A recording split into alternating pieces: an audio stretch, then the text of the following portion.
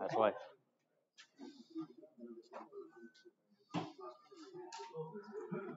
Okay, if we could turn, please, in our Bibles to the book of Galatians, book of Galatians, chapter 5.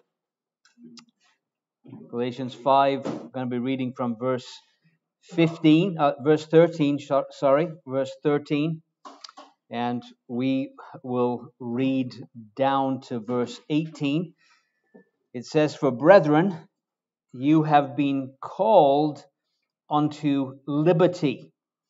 Only use not liberty for an occasion to the flesh, but by love serve one another. For all the law is fulfilled in one word, even in this Thou shalt love thy neighbor as thyself. But if ye bite and devour one another, take heed that you be not consumed one of another. This I say then walk in the Spirit, and you shall not fulfill the lust of the flesh. For the flesh lusteth against the spirit, the spirit against the flesh, and these are contrary the one to the other, so that you cannot do the things that you would. But if you be led of the spirit, you are not under the law. And again, God blesses the reading of his precious word to us uh, this afternoon. Uh, so we, are just, I want to give you a little bit of an outline to this chapter. I should have done it earlier, but sometimes you get so carried away you forget to do those kind of things. So, verses 1 through 12, we, we looked at freedom from the law and particularly legalism. The Lord has set us free from the law, from its dictates. And by the way, it's good to remind ourselves.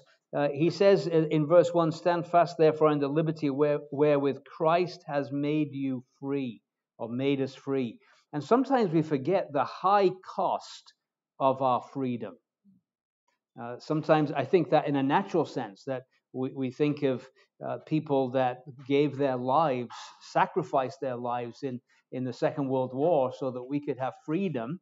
And yet, how have we used that freedom? I remember watching a, a documentary of, of British soldiers, and they, they were asked the question years afterwards was it worth it? And when they saw what had happened to the country, they wondered whether it was worth it at all. Would you do it again? Well, I'm not sure. Isn't that interesting? Sad. And, and the problem is that, that freedom can be abused. Even though it was bought at a tremendous price, it can be abused. And so the Lord is, uh, well, Paul is reminding us stand fast, don't give up the freedom that has been won for you at such a great price. And part of that freedom is from the law. Don't become entangled again with that yoke of bondage. Don't, don't go back into that old legalistic system that you're free from. And then in verse 13 through 15, we're going to be looking at this session freedom from license. Because the other extreme of legalism is not liberty, it's license freedom from license, not to live a life where we think, well, Christ has set me free, I can just do whatever I want now. Right? That was not the purpose of him going to Calvary for us to lead, leave a lot, lead a life of self gratification and just self absorbed doing what I want. That was not the point of him going to the cross. He had a higher purpose than that. And, and so, uh, freedom from license. And then in verses uh, 16 to the end of the uh, to, down to the end of the chapter, uh, we want to look at freedom from the flesh. And of course, uh, the flesh is never going to go away, but we can enjoy freedom from the flesh's power and dictates in our lives. And of course, we're going to see that that's by the Spirit. So we want to look at these things together. They're very important things because they're things that we're dealing with on a constant basis. And we mentioned earlier that in our lives, we probably have all had the experience where we've either tended towards uh, the, the, the heart of a Pharisee and legalism, that's been in, uh, in some of us, has been there. And then there's been other times when we've had gone to the other extreme where, where license has maybe been more where we've been. And, and truth is not in those ditches, right? It's not in either of those ditches. And we've got to find ourselves in the, in the middle place, which is always the hardest place to be.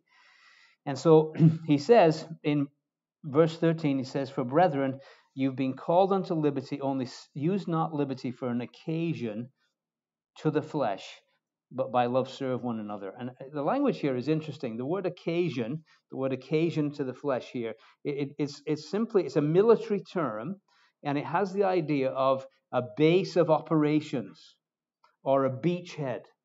That's the idea.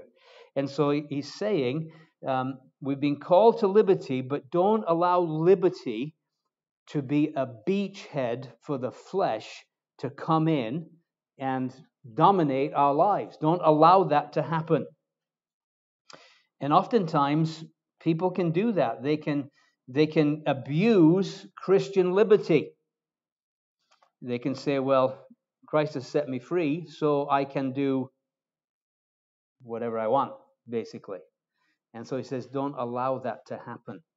And uh, I think of uh, this idea of a base of operation. It's kind of think of uh, one of the places I've loved going to over the years is the Normandy landing beaches, and you know, kind of to defeat uh, fortress Nazi Germany, there had to be a beachhead, and that beachhead was the Normandy beaches. And they once they got a beachhead, it wasn't long before they had they had defeated and mopped up the whole thing. And so the idea is this: that the, the flesh is always looking for a beachhead to destroy your life. Always looking. And so he says, don't allow that to happen. Uh, don't don't allow it to happen. Now, what do we mean when we talk about the flesh? Well, of course, uh, NIV translates it as sinful nature, um, but I, I think uh, it's all that man is is and is capable of as a sinful human being, apart from the intervention of God's Spirit in his life all the evil that man is and is capable of apart from the intervention of God's Spirit, God's grace in our lives. And so, uh, one thing we need to recognize that our flesh, uh, Paul says this, in my flesh dwelleth no good thing, right? And uh, it's, it, it, I've noticed that my flesh has not improved with age. right?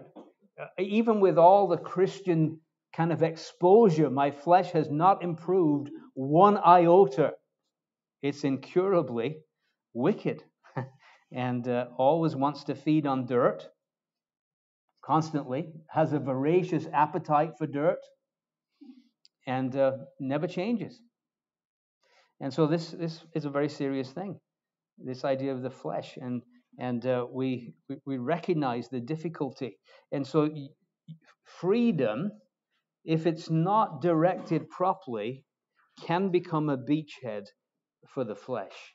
And uh, I want you just to look at the verse in Jude just for a second. And uh, I, the book of Jude and verse 4.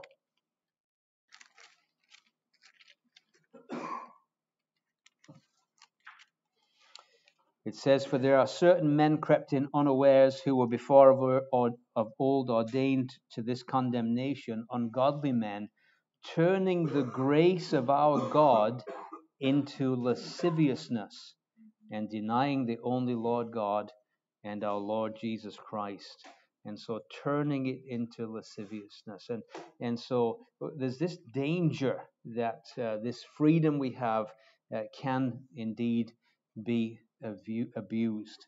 And so it's interesting. What he says is this He says, uh, Brethren, you've been called unto liberty, only use not liberty as an occasion to the flesh, but by love serve one another. And so it's interesting. There's different kind of aspects of slavery here. There's there's this this bondage or slavery to the law that he's spoken of.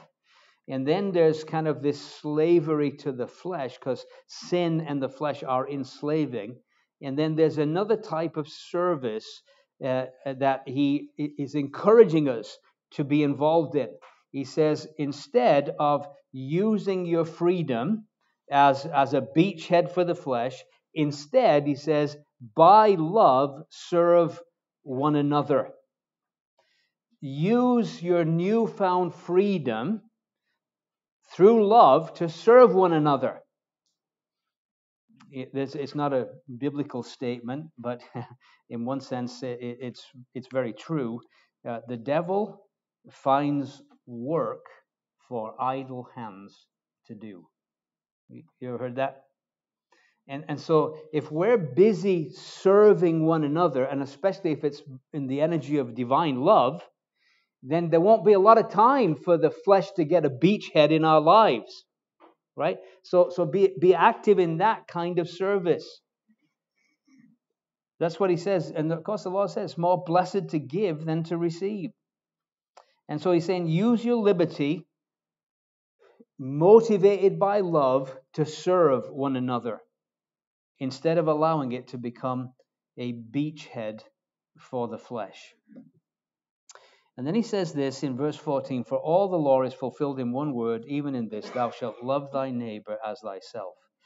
But I mentioned this uh, the other day that um, uh, you know, Wesley, as he wrestled with this idea of holiness and holy living, uh, verses like this really impacted his thinking. And he, what he said was that if, if we could be filled with perfect love, we wouldn't have problems with sin. Now, where he went wrong was he thought you could get it all at once rather than a daily dependence. But nevertheless, his basic thesis was this, and, and it was correct that if, if we were filled with holy love, we wouldn't be involved in sin. We'd be serving, we'd be doing things that are productive, we'd be useful. And so that was his basic thesis. And he has a lot of things to say that are very, I think, biblical, but he just, again, he thinks we get it all at once. And, uh, and of course, it's a daily, moment by moment, isn't it? But I wanted just to say this that, Christian love, he says, in a sense, is the fulfillment. All the law is fulfilled in one word, even in this, thou shalt love thy neighbor as thyself. And, and again, this is found throughout the Word of God, isn't it? It's found in the Old Testament law, believe it or not. Book in, uh, in fact, it's a direct quotation from the Old Testament law and the book of Leviticus. And the difficulty with the law is that there was no Holy Spirit shed abroad in their hearts to enable them to do this. But nevertheless, the, the, the command was given Leviticus 19, verse 18 Thou shalt not avenge nor bear any grudge against the children of thy people, but thou shalt love thy neighbor as thyself. I am the Lord. And of course, the Lord Jesus quoted from that in Matthew's Gospel, chapter 22 and verse 39.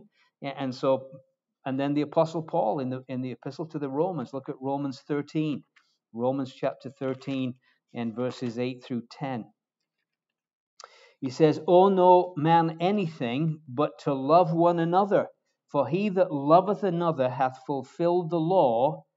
For this thou shalt not commit adultery, thou shalt not kill, thou shalt not steal, thou shalt not bear false witness, thou shalt not covet. And if there be any other commandment, it is briefly comprehended in this saying, namely, Thou shalt love thy neighbor as thyself. Love worketh no ill to his neighbor, therefore, love is the fulfilling of the law. And so, what we could say for all of us in our struggles with the flesh and with, with sin, maybe we need to be praying more earnestly Lord, would you fill my heart with your love? So that I can love the brethren, that I can love a lost and dying world, that I could be a person who, and of course, when we look at even our heroes, uh, I don't know if anybody has ever read it, but without doubt, probably one of the most compelling biographies connected to the Brethren movement is Robert Chapman of Barnstaple, right? Brother indeed. And, and, and what, what was the story there? He actually got mail delivered to his address just simply said Apostle of Love, England. And it went to his address. Robert Cleaver Chapman, R.C. Chapman. The most amazing biography. And what was the thing about his life? Love. and, and he lived a life of love. He said, you know, he said, many preach Christ. My goal is to live Christ. And that's what he sought to do. And his life was one of love. And it, and it was a powerful, impactful life. To this hour, it's impacting people. And so again, we might say, Lord, that's what I want. And, and of course, Romans 5 5 says the love of God has been shed abroad in our hearts by the Holy Ghost who is given to us. But somehow, there seems to be a, a, a blockage here in many of our lives. And, and I think part of it is um, maybe we're not intentional in saying, Lord, I, I want to do this. I want to I want to yield myself fully to your Holy Spirit that you might love this needy world through me. Kind of an intentional desire. And so he, he talks uh, about love. And so then he goes on and he says, um, But if you bite and devour one another, take heed that you be not consumed one another of one another. Have you ever, I'm sure some of you have, been involved in conflict in a local church? I think it's the most stressful experience I've ever known in my life. And I've been through some stressful things, but nothing compares to going through conflict in the local church. And, and by, when, whenever there's conflict, whatever the, the root cause of it, and often scripture is quite, quite clear, it, scripture says this only by pride cometh contention. We've got all kinds of different reasons that we give for our problems, but God cuts through all the nonsense and says, no, it's none of those things. It's actually pride. Only by pride, exclusively by pride comes contention. But, but when that contention comes, the flesh always shows up. And people begin to act in the flesh, and there are things that are said that should never be said that, that cause deep wounds that last for years. Maybe some of you are still hurting from wounds received from God's people. Talk about being wounded in the house of your friends. we've, we've been there, right? And, and so he's concerned, he said, because if you bite and devour one another, and he's talking like wild dogs. Like these are sheep. They're not wild dogs. They're, they're God's sheep, but they're sometimes they're acting like wild dogs and they're savagely tearing each other apart. And the idea is that he says you've got to be careful. Instead, you see, instead of instead of loving one another, what you guys do, are doing is you're tearing each other apart. That could be said of many assembly. Tearing each other apart. And meanwhile, the, the world is going to hell in a handbasket while we're beating each other to death. That's the tragedy because you're not interested in gospel labors when, when you've got that conflict. All you can think about is that conflict, all this internal heartache that's going on. And so he says, if you bite and devour one another, take heed that you be not consumed one another. And the thought is this that the, the testimony is going to be destroyed. Totally destroyed. And let me let's be honest, COVID COVID brought out a lot of flesh amongst God's people. And a lot of assemblies, if they ever do recover, some of them, and I'm not talking of getting COVID, I'm talking of the impact of the flesh because of it, will they ever recover? I don't know. Some of them may never recover. Terrible things happening. And what have we done? Well, we gave a base of operation, didn't we? For the flesh. we gave it a beachhead. COVID gave us a beachhead for the flesh, and it's wrought havoc. And people are tearing one another apart as a result of it. And still, the hurts go deep and continue on. And sometimes you wonder, will they be healed? Ever. Now, it can. I've actually seen three assemblies that were torn apart. In fact, I'll never forget it as long as I live. I was speaking at a conference and I could tell the conference that you could cut the atmosphere like a knife. You knew there was something happening. And, and straight after the conference, there was a division. I didn't get invited. I actually kept in touch with both sides. They kind of had two assemblies for a while, and I preached in both because it wasn't my war, it wasn't my battle. I, I love both sets of brethren, so I met with both. But eventually, they came back together again. And I was there, just happened to be a conference weekend when they came together and broke bread again for the first time after those. And I want to tell you, you know how it happened? One brother who had said a lot of nasty things at a regional elders meeting apologized to everybody publicly for his flesh and what he had said, and he begged their forgiveness. And if pride comes by contention, humility fosters unity.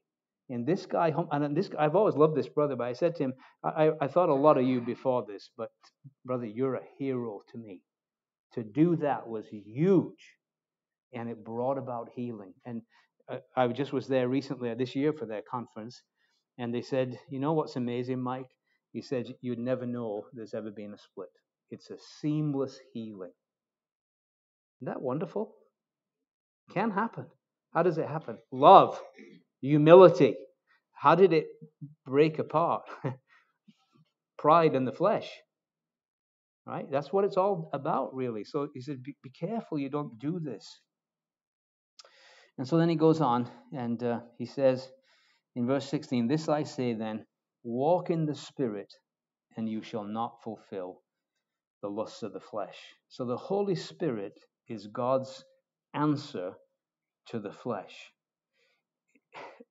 We can't fight flesh ourselves because you can't fight, fight flesh with flesh. Even if it's religious flesh with all the determination in the world, you can't fight flesh with flesh. You need the Spirit of God to enable you to live a life pleasing to the Lord. You can't do it in your own strength. And so the Holy Spirit's God's answer. And so it's interesting. Uh, I want you to go back with me to the book of Exodus. And I want to look at sometimes we find that Old Testament pictures, types, can sometimes help us understand New Testament precepts more clearly. I found that to be true. In, maybe because my mind works in pictures, but I, I love the types of the Old Testament. I find them very helpful. And so we get to Exodus 17. Children of Israel have uh, come uh, out of um, Egypt and uh, they're on their journeys. And we'll notice verse 16. Let's, let's back up to verse, um, verse 8. He says, Then came Amalek and fought with Israel in Rephidim. And Moses said to Joshua, Choose out, uh, chooses out men and go out, fight with Amalek. Tomorrow I will stand on the top of the hill with the rod of God in mine hand. So Joshua did as Moses had said to him and fought with Amalek. And Moses, Aaron, and Hur went up to the top of the hill. And it came to pass when Moses held up his hand that Israel prevailed, and when he let down his hand, Amalek prevailed. But Moses' hands were heavy. And I don't, I've never been a charismatic before, but I, I, I do think this that it, there's nothing wrong with lifting your hands up, but if you hold them up for a long time, eventually they become like lead weights. and there's a battle going on here. This is not a five minute battle. This is a major battle. And his hand, hands are up and he's they're beginning to weigh heavily. And as his hands come down, Amalek prevails. And so it says, Aaron and Hur stayed up his hands, the one on the one side, the other on the other side, and his hands were steady until the going down of the sun. And Joshua discomfited Amalek and his people with the edge of the sword. And the Lord said to Moses, Write this for a memorial in a book and rehearse it in the ears of Joshua. For I will utterly put out the remembrance of Amalek from under heaven. And Moses built an altar, called the name of it Jehovah Nissi, or for he said, Because the Lord hath sworn that the Lord will have war with Amalek from generation to generation. Now, Amalek is an Old Testament type of the flesh. And so this is a, it's a marvelous picture in a sense. Uh, and, and actually, it comes uh, after Moses struck the rock and the water gushed out. That's a picture of the giving of the Spirit, right? John 7, uh, you know, kind of the Lord Jesus out of his innermost being will flow rivers of living water. Just straight after the giving of the Spirit, the next thing that happens is Amalek shows up. Flesh and spirit in conflict. That's what we're going to be looking at in Galatians 5. And, and it's a wonderful picture because up on the mountain, you have one with hands raised, and wherever the hands raised, there's victory. By the way, don't we have somebody standing at God's right hand on our behalf, ever living to make intercession for us? And by the way, his hands never get tired. And he prays for us that we would win the victory against Amalek. That we would. But what's interesting is when you look at the wording of verse 16, because we tend to think that the battle is really between me and the flesh. But notice what he says in verse 16. He said, Because the Lord hath sworn that the Lord will have war with Amalek. In one sense, it's not my battle. The battle is the Lord's. But the Lord will have war with Amalek. And that's why it says the flesh lusts against the spirit, the spirit against the flesh. Right? That's where the real battle is between the spirit and the flesh. And so just I want you just to look at Deuteronomy. We're just kind of taking that picture a step further. Book of Deuteronomy, where we get uh, some additional information in Deuteronomy 25 and verse 17 concerning this battle. it says, Remember what Amalek did unto thee by the way when you were come forth out of Egypt, how he met thee by the way and smote the hindmost of thee, even all that were feeble behind thee, when thou wast faint and weary, and feared not God. Therefore it shall be, when the Lord thy God hath given thee rest from all thine enemies round about in the land which the Lord thy God giveth thee for an inheritance to possess it, thou shalt blot out the remembrance of Amalek from under heaven. Thou shalt not forget it. So what we get here, initial, uh, additional little bit of de- detail, and it's the attack came on those who were stragglers and those who were tired. You notice that? They kind of, that's that's who Amalek attacked. Now, there's a practical application to that.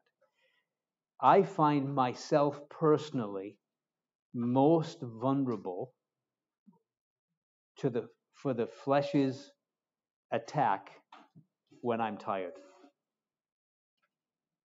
Right? When I'm tired. Uh, I'm a morning person. Early in the morning, I don't have much battles with the flesh. Nighttime, I'm really tired. I'm not thinking rationally. I'm not coherent. and, and that's when the flesh comes and attacks, right? He recognizes when, when we're at our weakness. Uh, by the way, isn't it wonderful? The Lord says that there's a day coming when He will utterly blot out the remembrance of Amalek. That's what we're talking about, the rapture being so appealing, because the remembrance of Amalek and the battle with the flesh will be over. But here's the interesting thing as you follow through, Mercer's been talking about these different themes that go through, but one of the themes is given us here. He says, when you get into the land, you should blot out the remembrance of Amalek from under heaven. Remember King Saul? What was he tasked with? Wipe out Amalek. And he spared Agag. Remember that? And it's a picture of the danger of going easy on the flesh. Go to the book of Esther. What about this guy Haman? Where's he from? Haman the Agagite. Almost destroyed Israel. And so the point is this that you and I, in a sense, if we go easy on the flesh, we are setting ourselves up for real trouble. You, you cannot, for a single second, cease to be vigilant in this conflict that is going on. And so, again, let's go back to Galatians, just keeping those pictures um, in the back of our minds. Now, again, he says, walk in the Spirit, you will not fulfill the lusts of the, flesh. Now, we, we say this every true believer is indwelt by the Spirit. We, we know that to be true. Uh, part of the package, if you like, of, of when you believe the gospel, and trust in the Lord Jesus as your Savior, the one that died on the cross for you, one of the things that happens is that the Spirit of God comes and takes up residence in your life. And you now have this indwelling heavenly guest who lives within you. Your body's a temple of the Holy Spirit, uh, which you have of God. You're not your own. You're bought with all of these things. So you've got this indwelling heavenly guest. Wonderful thing to think about. And he's a real person. Living within you is a real person. And you didn't get a bit of him, you got all of him, right? Because he's a person. So you didn't just get a bit, you got the whole person. The whole, whole person lives within you. So when you it says walk in the spirit, the idea is this that you have to relinquish control and walk in dependence moment by moment on your indwelling heavenly guest. And as you do that, uh, step by step, and it is a step by step, moment by moment dependence on this indwelling heavenly guest, as you do that, he says, you will not fulfill the lusts of the flesh. When he's in control, the flesh will not be a problem. And so that's what he says. And so, again, God has no plans to improve our flesh whatsoever. It's incurably evil. We've said that all along. And so, instead, we, and of course, it's not, sadly, it's in some ways, the eradication of the old nature would be marvelous if it was true. I'd really buy into that doctrine if it was true. And I'd preach it, but it isn't. We know we still have the flesh. So therefore, we have to walk moment by moment in dependence on the Spirit. And the promise, and it is a promise, he says, If you do this, this I say then, walk in the Spirit, and you shall not fulfill the lust of the flesh. And then he talks about this conflict that's going on between the flesh and the spirit. The flesh lusts against the spirit, the spirit against the flesh. They're contrary the one toward the other. Just like we saw in Galatians 4 in verse 29, where it says, But as then he that was born after the flesh persecuted him that was born after the spirit, even so it is now. Ishmael and Isaac, right? Remember uh, the, the miracle birth versus the man's engineering, the energy, the, the energy of the flesh. There's this conflict, there's a persecution. The two just cannot get along. The free woman and the bondwoman can't get along. Jerusalem, which is above, which is free, and Jerusalem below, don't get on. The, the two just cannot get along together. So there's this inner conflict. And then he says this remarkable thing. He says, But if you are led of the Spirit, you're not under the law. I love this. What he's telling me is this that the Holy Spirit, if I'm being led by the Spirit, the Holy Spirit will never lead me back to Sinai. Ever. He'll not lead me to Sinai. He'll lead me to Calvary, but he'll not lead me to Sinai. Is that interesting? That's right. Yeah. Yeah, that's right. Oh, excuse me. Sorry. Sorry, gentlemen. It's okay, Chris. It's all right. I'm I was in a Caribbean meeting last week, so you just speak away. This is okay. But he, but he, he will never lead us to Sinai. And, so he's this idea of being led of the Spirit. It's a beautiful idea. Part of, it's one of the marks of sonship. Uh, those that are led by the Spirit of God are the sons of God.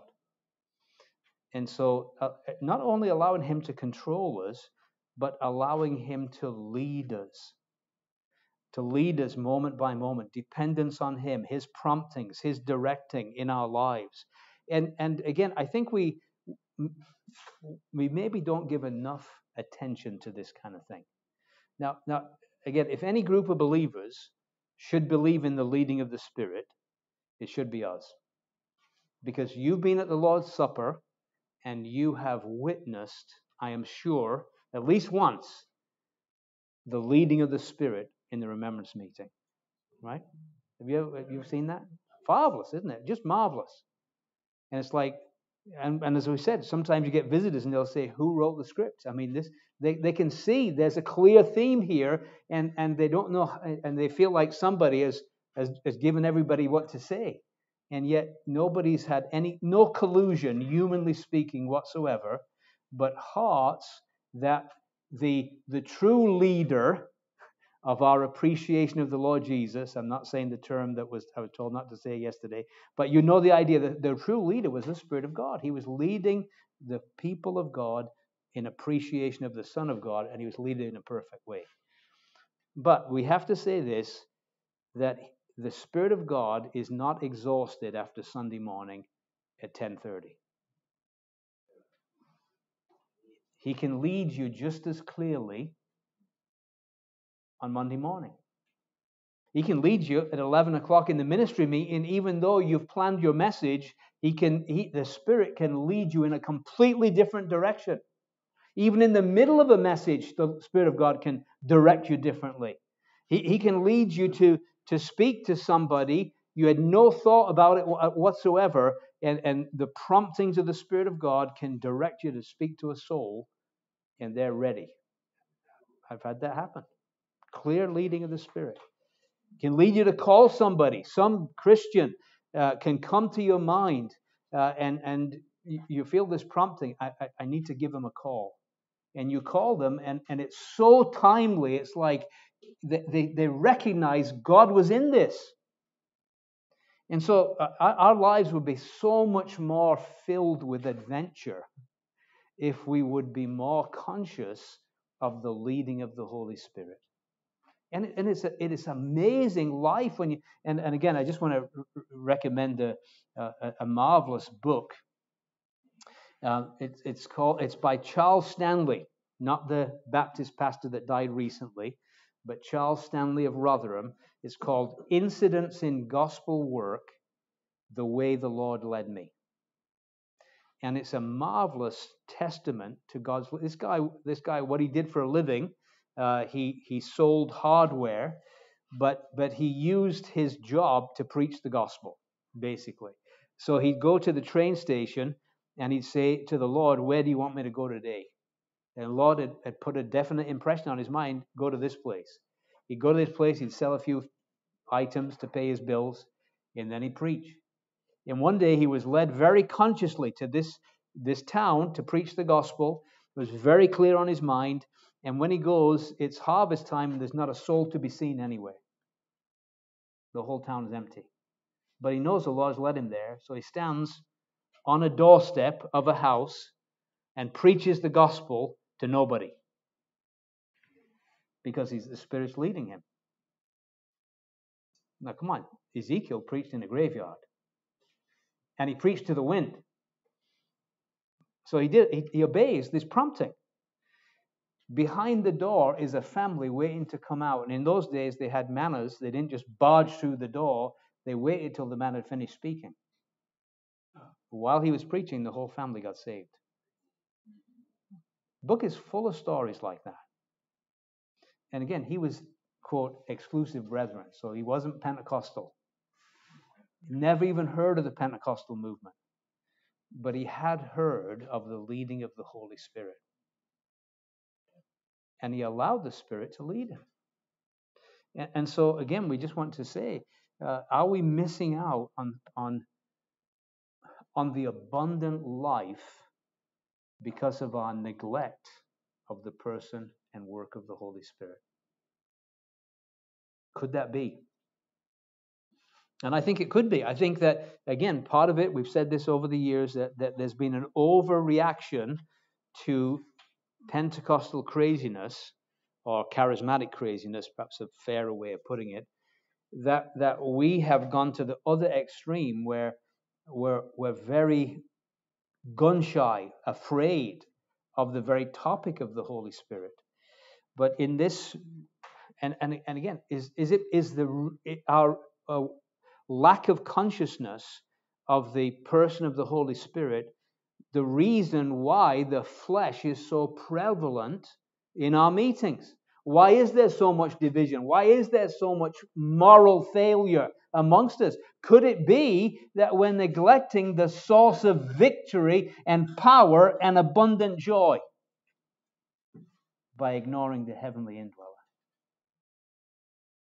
And so it's good to ask ourselves the question ourselves How conscious am I Brother Peter Brandon, amazing man in many ways. He's with the Lord too, but he wouldn't put his feet on the floor on a morning before acknowledging that he was a vile sinner and he had no hope of ever living the Christian life unless the Lord, the Spirit, would lead him. And before his foot touched the ground, and moment by moment. And he was his life was so fruitful, so productive for God. And so we've got to ask ourselves, where are we in all of this? And so let me just say one one other uh, thing here, um, uh, which I think is important for us to think about too, and that is we, we did say that Amalek attacks when we're tired, and so I think it's important to have a strategy. We, we know when we're vulnerable and when we're weak, right? So so you've got to you have to recognize Paul says we're not ignorant of his devices. Right? We know how he works. So you've got to make some kind of plans or strategies to, to not allow yourself to be in a vulnerable place when you're tired. Go to bed. go to sleep. Like if you're tired, just go to bed and don't take a computer with you and don't take a phone with you. Just go to bed. Right? Simple things, but, but like have a strategy because the price of failure is way too high. Right? The flesh, as we're going to see, we're going to talk about this in our next session. We're going to talk about this factory that manufactures pollution. The works of the flesh are these. And we don't want to be this pollute. The world has already got enough pollution through sin without our flesh adding to the manufacturing capacity. The works of the flesh of these. We don't want that. We don't want that pollution. There's enough of it out there. So we have to make a strategy. Lord, how, how do I how do I counteract this? Well, first of all, it's a life of dependence on the Spirit of God. But sometimes when you're tired, you're not thinking properly. Right? First thing in the morning, I'm crystal clear. Everything's clear as 9 and 10 o'clock at night. Things are not so clear. Right? So I've got to make a strategy. And usually that strategy is going to bed at 9 o'clock. That's my strategy. I go to bed because, uh, huh?